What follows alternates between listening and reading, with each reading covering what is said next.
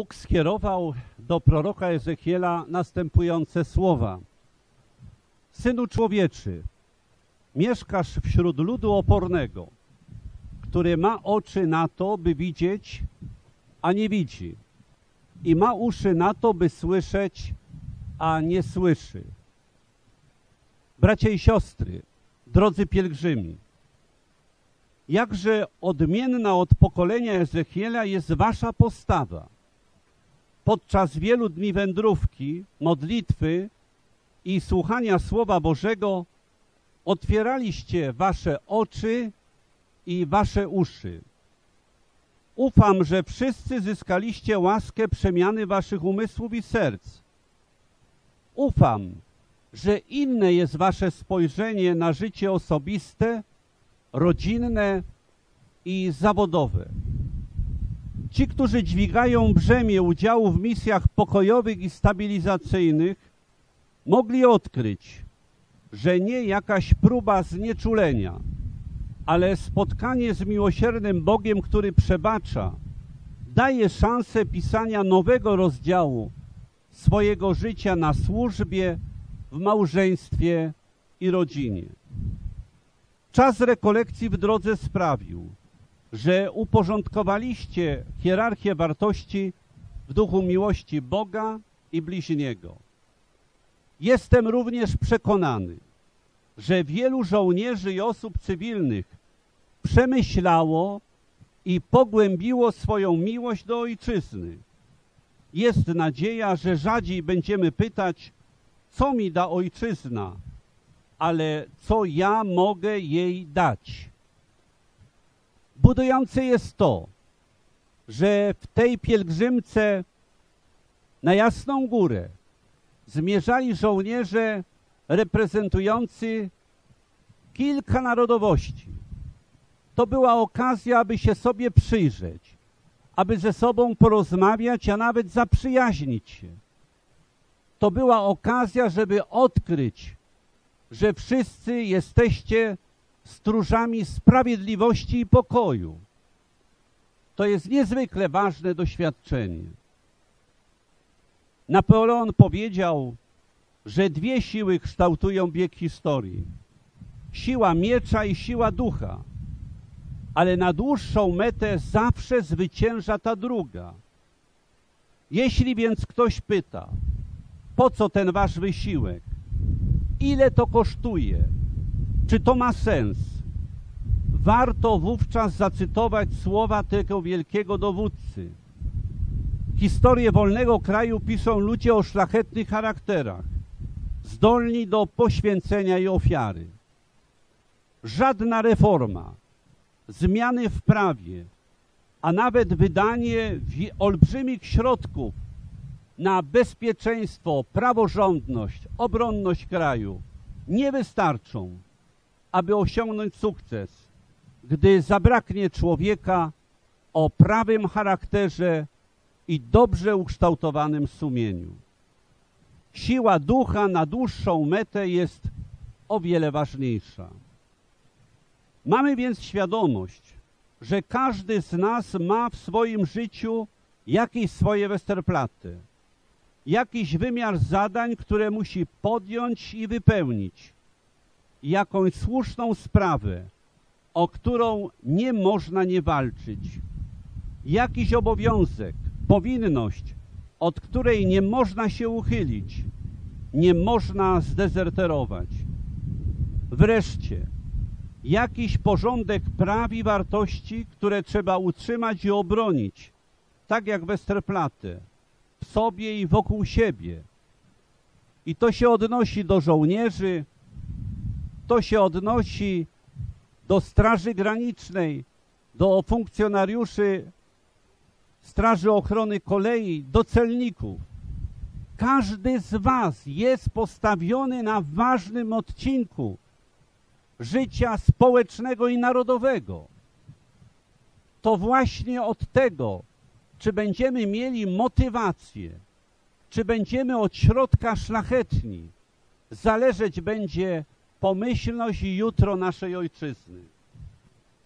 Bracie i siostry, drodzy pielgrzymi, Wiele przemyśleliście w czasie tych dni wędrówki. Wiele odkryliście. Inaczej spojrzeliście na siebie, na otoczenie, na postawione wam zadania. Czy możecie swoje doświadczenie Boga i wiary, swoje przemyślenia i dokonane wybory zatrzymać jedynie w sobie i dla siebie? I tu powiem w sposób zdecydowany. Tego wam nie wolno zrobić. Papież Franciszek na zakończenie Światowych Dni Młodzieży w Rio de Janeiro powiedział do zgromadzonej młodzieży trzy ważne słowa. Idźcie bez obawy, aby służyć. Najpierw idźcie. Jezus nie powiedział, jeśli wam się chce, jeśli macie czas, ale zdecydowanie idźcie i nauczajcie wszystkie narody. Dzielenie się doświadczeniem wiary, dawanie świadectwa chrześcijańskiego życia, głoszenie Ewangelii jest naszym obowiązkiem. Uczciwość, rzetelność i pasja, z jaką będziemy wykonywać powierzone nam zadania, powinny być wyraźnym sygnałem dla środowisk, do których powrócicie. Być może ktoś zada sobie pytanie, dlaczego ona, dlaczego on tak postępuje. Moi drodzy, bardzo często takie zdumienie jest u początku nawrócenia i przemiany drugiego człowieka. Nowa jakość myślenia i postępowania. Nawet to, że nie odwrócicie wzroku, ale zareagujecie na kradzież i marnotrawstwo, sprawią, że być może jednemu człowiekowi pomożecie zachować godność. Przyczynicie się też do ochrony i pomnożenia dobra wspólnego, jakim jest ojczyzna.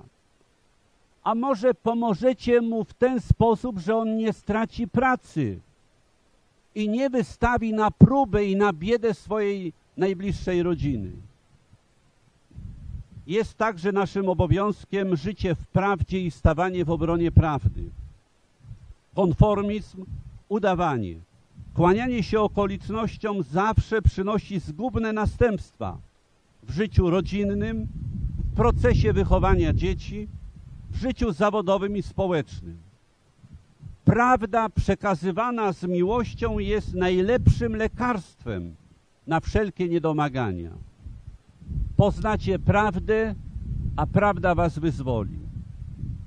Nie da się także zbudować trwałego pokoju na konformizmie i unikach. Warto przypomnieć jedną scenę ze starej kroniki filmowej, gdy wracający z Monachium Neville Chamberlain jest owacyjnie witany w Londynie.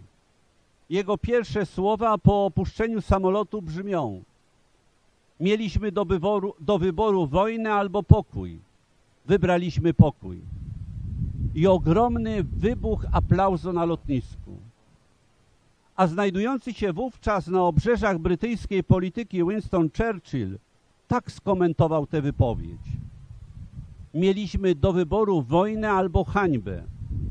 Wybraliśmy hańbę, a wojnę będziemy mieli później. Churchill był realistą. W niedługim czasie na Londyn spadły pierwsze bomby. Gdzie nas Jezus posyła? Posyła nas do wszystkich.